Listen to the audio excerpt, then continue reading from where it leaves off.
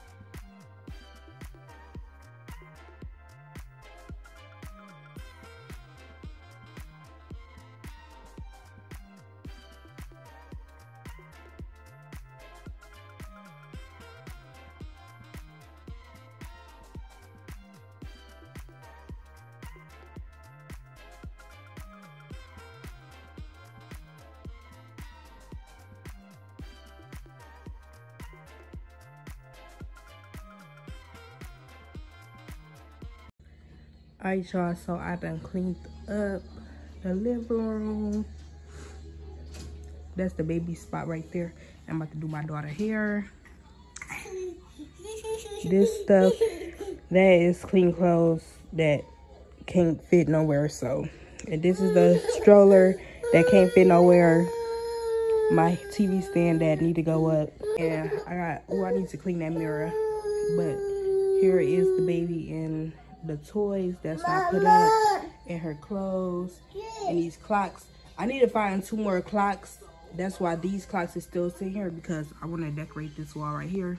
But I don't know if we're going to be um, here long enough for me to even decorate that. So, yeah, let me clean this mirror.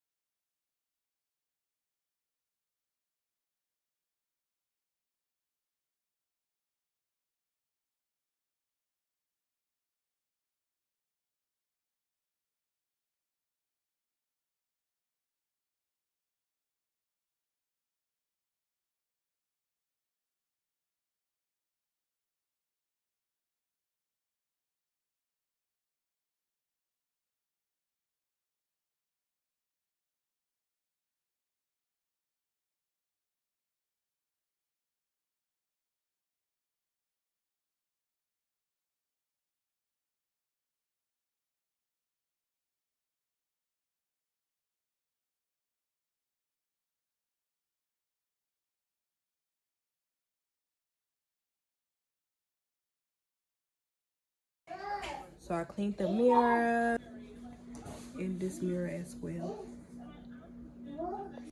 Alright y'all, if you guys enjoyed this video, make sure you guys give it a thumbs up. Make sure you comment down below, share, subscribe, and don't forget to turn on that post notification bell. So every time I post a video, it comes straight to your phone. And I'm out. Bye.